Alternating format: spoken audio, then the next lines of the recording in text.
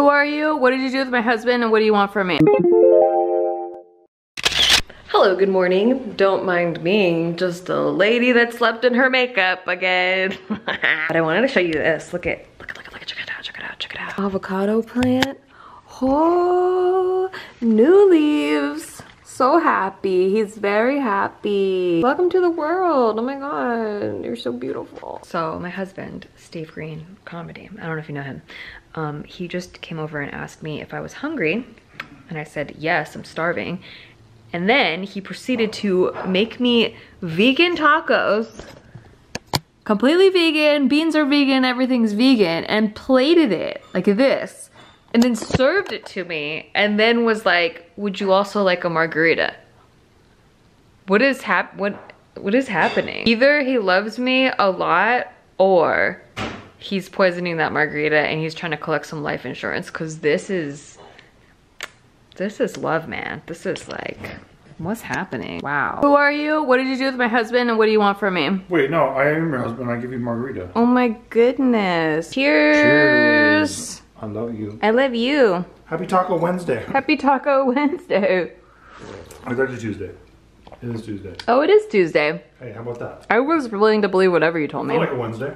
It did. It, it sounded accurate. Yeah. This is great. Good job. What happened? Grand Marnier happened. Wow. Mm-hmm. But I mean, like the whole night. Wow, the whole You meal. like all that shit? Yeah? It's sexy as hell. Can do. You trying to give me a boner? Yeah, always. Well, I got one. Hell yeah. Raging hard boner for you. Mm. You want you ready for this boner? Good morning. I just got done running three miles, over three miles, 3.15 miles or 3.16. I don't know. Steve's at JK today, so I'm just doing like a bunch of managerial stuff today. It's a, did I not tell you it's a party channel? Oh my God, we're doing taxes. We're doing contracts with my lawyer. We're doing invoices. Oh my goodness. Are you excited? I have to respond to a few emails I've been procrastinating on. And oh, oh, what, how, I almost forgot. I got a new filing cabinet. So we're gonna refile all the files. Jokes aside, I'm actually super excited about it. What is this life? Like what happens when you turn 30? Like what happens? I'm very excited because we finally have hardwood floors up in the office. So this filing cabinet has wheels. How, how easy. Like if I wanna file things, I just roll it out, file some papers, roll it back. Ah, it's gonna be so cool. When you see our old filing system, you will understand the excitement. That's my trick, I think, to being excited about new things in life is start with like the bottom, like just the worst stuff. Just like give yourself the worst things and live with it for like five years. And then any upgrade is so exciting. You're just like so stoked on life every, every day. That's my secret. Don't start at the top. There's nowhere else to go. Don't even start at the middle because then you don't have that much room. You know, like you could go down. Start at the fucking bottom. Get the worst shit.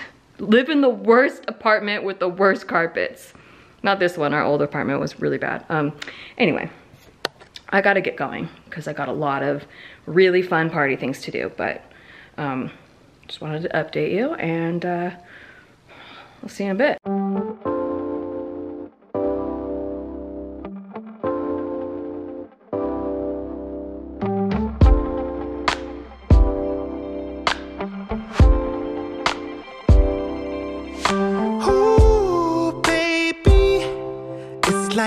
World is on our side. Nothing can bring me down tonight. And ooh, baby, when we're together, you and I, your touch sends chills down my spine. Hey. Hello, good morning.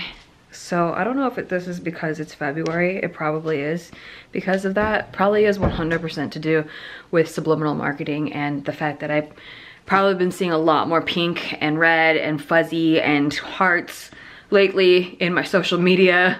I don't know, I don't recall seeing these things, but I feel like my mind has been incepted because all I wanna do is dress like fluffy and pink and Valentine's Eve. I got this jacket last month, but I didn't get a chance to wear it yet because there hasn't been a pink day. And it's not even a pink day today, it's a blue day, but I have blue pants on, so I'm not cheating. So I wanted to do a pink pink look. Like just, I wanna go full out pink. I wanna be girly and pink and I just am looking at these glasses and I'm like, I wanna be this.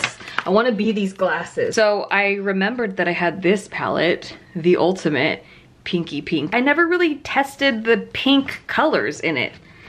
I don't know why I bought it and didn't test any of the pink colors in it, but yeah, I haven't even touched them.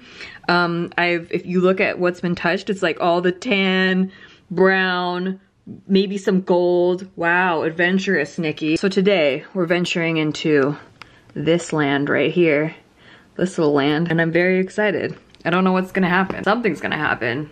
We're shooting shit they don't tell you today, so you'll see what's gonna happen. And we're talking about very serious things. Let's get our serious look on.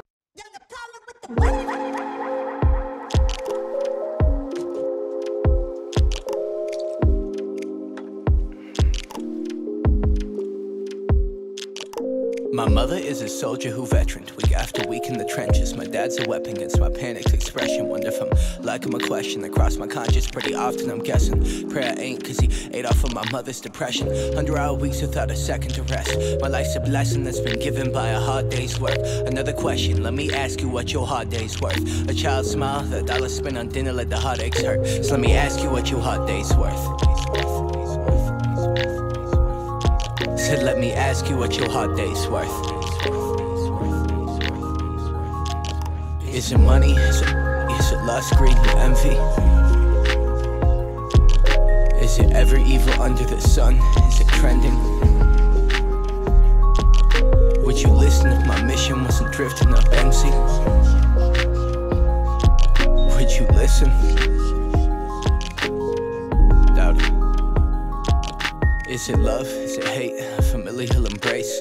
An escape from that pain-stilled state we all create? This is fun. This is a fun look. Maybe we'll do this for Valentine's Day. I don't know. I don't know. Don't pressure me. I don't know. I tried out another set from the doe eyelashes that they sent me. This one is in fairy dust. Mm-hmm. It is very magical. I'm, oh, yes. See these, not a casual look, but very nice for it if you want to go loud. I feel like a little Valentine's Day cloud. How cute. I want to put these on, but I don't want the glasses to ruin my makeup. Oh, God. Okay. Yeah. Yeah. Yeah. Yeah. I'm into it. That was fun. That was fun. Slap it high. Hello, good morning. It's Sunday, and we're on our way to Santa Barbara to do Super Bowl and Christmas with my parents. In that order? In that order. Okay. Well, maybe Christmas first Yeah, depending on what time we get there. But we didn't have Christmas, so we're having it. And what day is today? Today is Super Bowl Sunday, baby! February 7th! Who's gonna win today, Nikki? I think, And why? um, okay. Everyone wants to know your expert football analysis. I know, well, up until today, just now, Steve and I were both rooting for the Bucs, but today I looked at, I looked real hard at pictures of Tom Brady and Mahomes, and I just gotta root for Mahomes. I just got a root for Mahomes, and I and I'm sorry, Tom Brady. Listen, Tom Brady, if you're watching this, You and I could have been something. I always didn't like you very much. I have to say, I'm cold. Yeah, that's fan. why I'm shocked. I'm utterly shook that you're Listen. rooting for him. Bruce Arians was probably the best co- co- co- coach that the Colts had in like the past 10 years. Colts the coach chat. Yeah, well, yeah, that was pretty clear about that. And uh, he was he took over for Chuck Pagano when he got cancer, and then he coached us into the playoffs. So I love that man. So Bruce Arians, So he's the coach of the Bruce Bucs, Arians. and I'm rooting for the Bucs because of him. Here's the thing is that I don't like to root for the same team to win the Super Bowl in a row, which is why I didn't want to root for the Chiefs. Yep. But Mahomes was my quarterback all fantasy football season, and I just feel like we have a bond I can't shake. I, I just can't. That makes like I sense, yeah. can't abandon him now at the pivotal moment, at the moment. Fantasy bonds are strong because I've Yeah. been watching The Amazing Race with you, and DeAngelo Williams, who's on that show, he's one of the NFL players. Yeah. He was my fantasy running back for like two years in a row. See? So I get it, I man. mean, listen, I still have ties to Eddie Lacy. I just can't shake them. I get it. I just can't. Like, if Eddie Lacy came in and was like, I'm gonna play the Super Bowl, and it was like the Chiefs and the Bucs versus Eddie Lacy, I'm rooting for Eddie Lacy, you know? I know? totally like, get it, man. Also, I think they're gonna win. I think Tampa Bay's gonna win Tampa. because they have a, a way better defense, way better offensive. Well, yeah, and like the Chiefs are all hurt and like have COVID and stuff. Yeah, the two of them did. Yeah. Yeah. So I mean, the Chiefs are at a severe disadvantage, and I think that's why I have to root for them today. they have a lot of firepower on offense, though I have to say, but so do the Bucs. So Go Chiefs. it's gonna be a close one, I think. Close one. I'm And then, say 24-21 Bucs. I'm also torn because I'm like, man, it could have been us instead of the Bucs, so fuck the Bucs. But then also, I wanna at least if they were gonna beat us and go to the Super Bowl, then like they should win the Super Bowl. That's But fair. I, I. I like Then it's like, oh, we lost to the Super Bowl winners, Yeah, you lost to Super Bowl like champions. Super Bowl losers. That's what that always feels good. we'll see what happens. We should put money on it I'm good. Actually, we we do have money on. Um, we're playing squares with our Patreon today, which is fun. Yeah, that's fun. Um, but there's no buy-in. It was just if whoever wins, they we're just gonna pay them cash prizes. yeah, they get the pot. Yeah. I think this is um, Christmas and Easter combined because we're not gonna see anyone for Easter either. So there's that. This is our 10th year watching the Super Bowl together. Me and this guy right here. Even before we were together. And we're usually the only people watching the game, and it's true. But this this guy just ruined it. He just came in. He Just ruined it, but, but He's pretend ruined- like But he pretend like he watching the game, but he's not really. he didn't watch kickoff. Who are you rooting for? This is soccer, right? Yeah, it's Uh, football. Then the Lakers. Okay. Good luck to you. Good luck. Lakers do win a lot. It's halftime, so it's Christmas. Look, it's Christmas! It's Christmas! It's Christmas! It's Christmas! It's a Christmas. we It's. Christmas! We just said it's Christmas, okay? Look it, Christmas! Christmas! Hello, good morning. We just woke up from the day after Super Bowl. We all clean my parents' houses after a party. It's like they clean right away. Anyway, so guess what time it is? Guess. Guess. Steve did this to me. Guess. Guess what time it is? It's morning. We just woke up. Guess. I know. It's 10 a.m. 10 a.m. I mean 9.55. This is what happens when you don't have kitties waking you up every hour. Pretty incredible. Pretty You crazy. can sleep in. I usually wake up at 7. Pretty nuts. 10 a.m. Wow. Are we on vacation? We're driving back to LA today. Um, because I didn't really bring, need to bring like all my stuff with me because we're literally just going right home. So I am taking this test from Modern Fertility. I'll show ya. It looks like this. Um, modernfertility.com, not sponsored, but they sponsored us on Big Mood, so that's how come we got these uh, tests. I got a couple questions on the vlog asking if we're still trying, how's that going, are we gonna test for fertility, blah, blah. And I will let you know that we have not been trying since spring of last, like basically when the pandemic started, as soon as we found out that it wasn't gonna be like, as soon as we found out that the pandemic was gonna last for a while, um, I didn't really feel comfortable trying to get, continue to get pregnant. It just felt like so unknown, like, you know, stability's like thrown off. Not that, I mean, like for other people right now, I know I have a lot of friends right now that are pregnant and that's great and I'm really happy for them. Some gave birth during the pandemic and um, and they're they're loving it. They're thriving. They're great.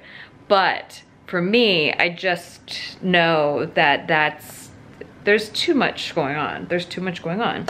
So yeah, we haven't really been trying to get pregnant. It's kind of like a, well, we won't use protection and if it happens, then it happens, but we're not actively trying. That being said, I do want to know if my fertility is still up there and good and thriving because uh, my age is getting to that age where maybe we don't know. We don't know. You know, a couple years ago, I got tested and my gynecologist was like, holy balls, you are extremely fertile right now.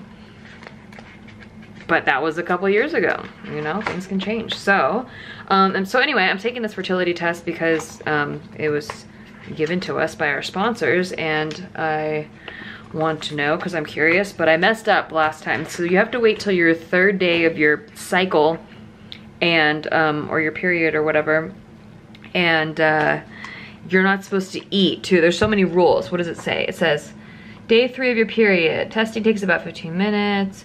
It says you need to fast for at least eight hours. So last time, the first time, I didn't know you had to wait till the third day of your period. The second time, I didn't know you had to fast. I just don't read instructions, I guess. Oh, it says it's easiest to test when you wake up. Oh, are you kidding me? Okay, it's 1 p.m. Does it, is it fine? It's fine, right? It's fine. Increase blood flow before pricking your finger, run your hands under warm water, rub them together, jump around. Oh, we have to take blood. Oh, gross.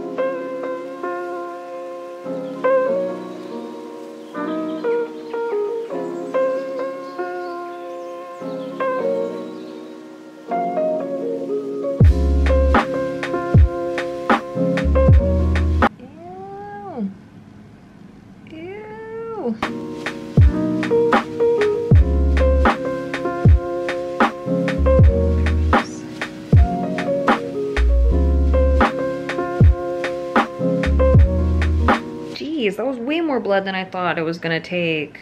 My finger won't stop bleeding. I had to take a food sensitivity test one time and I didn't have enough blood in my finger. So this time I ran it under warm water and I jumped up and down and I did all kinds of things. And I think I'm, I have too much blood now. Too much. I'm gonna be a target for vampires. Is it space? Is it pause? Is the place you can pause? Rest your pause, not often leave your day. Is it faith? Is it God? Be Jesus or Allah? Is it worth your stress and hard work throughout the day?